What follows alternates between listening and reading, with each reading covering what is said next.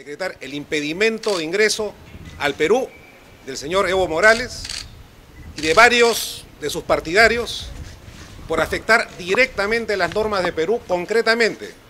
el artículo 48 de esta ley